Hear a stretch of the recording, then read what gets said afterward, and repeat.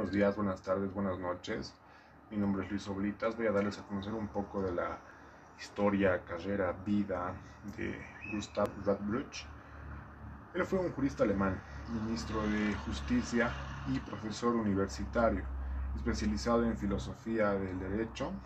Él estudió, en, él estudió derecho en Múnich y Berlín. Fue profesor en Heidelberg, Kiel también en donde impartía clases de derecho penal, procesal, también filosofía del derecho. La filosofía del derecho de Radbruch deriva del neocantismo, en el cual postulaba una ruptura entre ser y debe ser, o entre hechos y valores. Asimismo, existe una divisoria tajante entre las ciencias explicativas o causales también, como las ciencias de la naturaleza y las ciencias eh, interpretativas o comprensivas también dichas. La ciencia del derecho se situaría para Radbruch entre las ciencias del espíritu. No se limita a describir una realidad, sino que aspira a comprender un fenómeno cargado de valor, es decir, el derecho. La teoría del derecho se, distinguiría así tanto de la sociología del derecho como de la filosofía del derecho. Eh, el neocantismo, con sus diversas direcciones, cuenta con una variedad de representantes considerados como los padres, del, como los padres de la filosofía del derecho contemporáneo, autores como de quienes estoy hablando, Gustav Radbruch, eh, al igual que Emil Lask. Ellos surgieron de la escuela de Baden. El relativismo jurídico de Gustavo Radbruch considera el derecho como una realidad cultural sobre los principios básicos.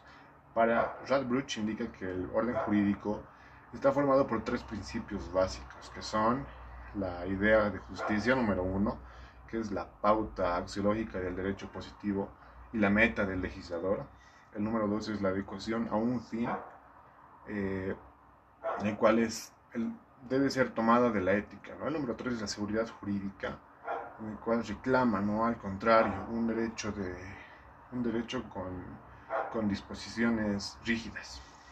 Radbruch indica que ejercen, indican que ejercen el condominio sobre el derecho, no a partir de una armonía, sino al contrario, en una relación de tensión viva.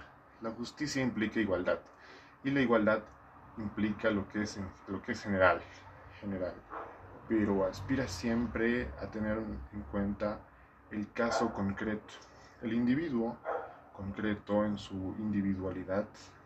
Está, esta justicia aplicada a la individualidad recibe el nombre de equidad. En sentido jurídico, la expresión naturaleza de la cosa se refiere a que el derecho debe tener en cuenta la realidad ontológica sobre la cual va a operar.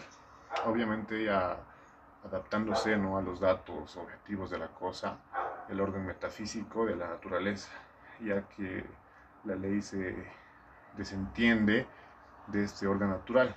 Puede conducir a resultados absurdos, injustos y por lo tanto inaplicables o inoperantes también en realidad social.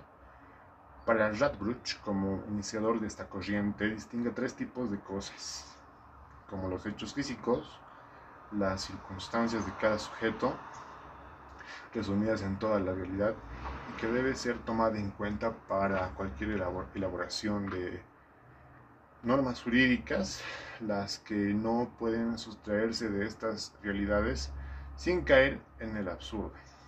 ¿no? Son cosas también las costumbres, los usos, hábitos sociales, es decir, ciertas normas socialmente preestablecidas a consuetudinarias, que tampoco pueden ser ignoradas a la hora de determinar las normas jurídicas. Todo pensamiento jurídico lleva necesariamente en sí las huellas del clima histórico en que nace, según ¿no? obviamente.